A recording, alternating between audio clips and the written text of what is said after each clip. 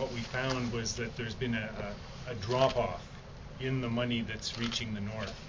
Um, in 2003, we had 10 million, $10 million worth of funding coming into the community. In 2004, when Mr. Angus was elected, that dropped uh, down to less than 4 million. In 2007, we received less than uh, $3 million. However, 2 million of that was given to NeoNet, and that went region-wide, not necessarily in our riding. Uh, last year, this year, we got 4 million that was given just in August pre-election, uh, and uh, you know I sort of liken that to uh, the money that the manufacturing sector got down in southern Ontario, uh, you know, just to sort of grease the wheels coming into the election. Um, so you know what we're seeing is that uh, we we have dropped off in the north. It is important for our infrastructure and for our communities, and we need to get back to uh, making sure that uh, what's due to the north comes to the north.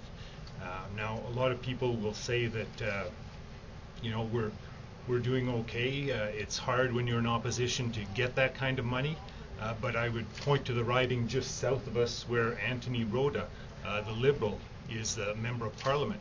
And over the last two years, when he's been there, he's gotten an average of about uh, 6.3, 6.4 million dollars, and our average is down around 3.5 million dollars over four years uh, since Mr. Angus has been in. So.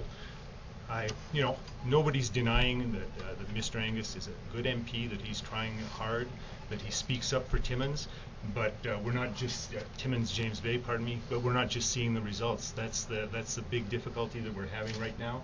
Um, you know, I was in Cochrane last week, uh, Polar Bear Heritage Village, and Polar Bear Habitat and Heritage Village. They want to expand. Uh, they've got a, an important collection there that they, they want to uh, uh, sort of take on, and uh, you know they're just not getting the funding they need to expand that, and you know that's vital to the survival of that community, which is you know being struck by hard times right now. So what we'd like to do is uh, try to uh, try to ensure that that funding comes to uh, Timmins James Bay.